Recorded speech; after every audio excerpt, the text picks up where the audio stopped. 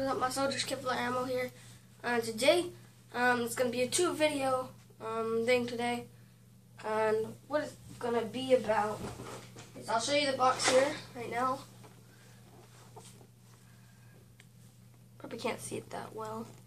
Um, I'll bring it. It's a Call of Duty, the Diner, um, zombies. I got this at Walmart in my Idaho Mountain Home for nine dollars.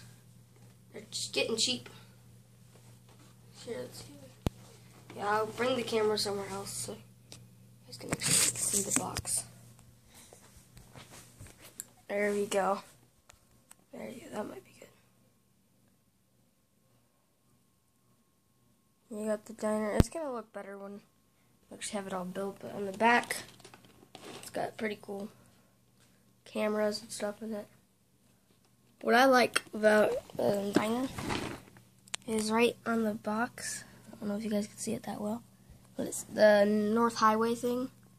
It says like, see how it spells N O W. It's now die on for you. That's what I like about this set. Um, It's pretty cool set. See that there's broken glass inside of it. Tons of zombies. Speed cola. It's gonna be kind of fun. But me and my mom, um, we're gonna make it, and once we get like a part that we like, um, it's gonna be like this. We're just gonna pause the video until we get to a part we want to show you, like the first part done like this. So yeah, just pausing the video is okay.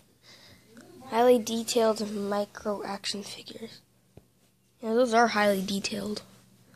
That's what I like about these. They have like tons of detail on them.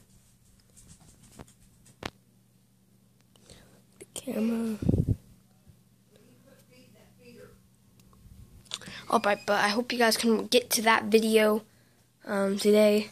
I'm going to be uploading it um, probably about four or five o'clock, maybe even three, because we have to get a room done inside of the house. Because every day, we, our house is a mess a little bit.